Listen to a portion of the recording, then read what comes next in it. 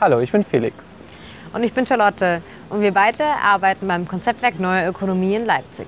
Beim Konzeptwerk setzen wir uns als Kollektiv für eine soziale, ökologische und demokratische Wirtschaft ein.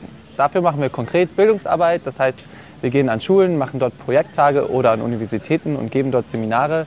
Oder wir arbeiten in unterschiedlichen Formaten zum Thema Postwachstum.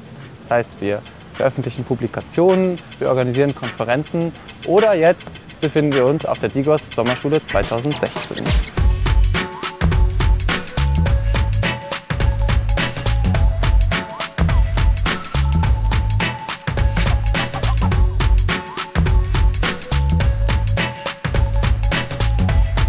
Das ist eines unserer Projekte in diesem Jahr und es sind bis zu 500 Teilnehmende gerade hier auf dem Camp, wo wir Degrowth praktisch werden lassen. Die Teilnehmenden erlernen hier Fähigkeiten rund um den sozial-ökologischen Wandel.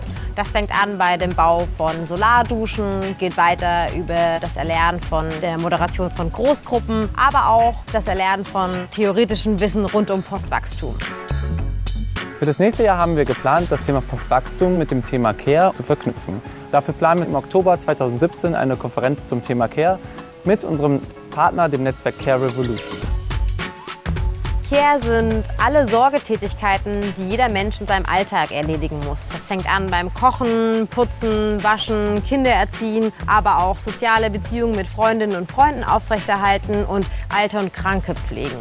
Das sind alles Tätigkeiten, die erstmal die Grundlage schaffen, um überhaupt wirtschaftlich tätig zu sein. Mit unserem Projekt wollen wir Care ins Zentrum der Wirtschaft stellen und die Sorgetätigkeiten sichtbar machen. Ja, denn die Frage ist, wofür wirtschaften wir denn eigentlich, wenn nicht für die Erfüllung unserer Bedürfnisse? In einem ökologischen Rahmen natürlich. Und das ist der Fokus dieses Projekts.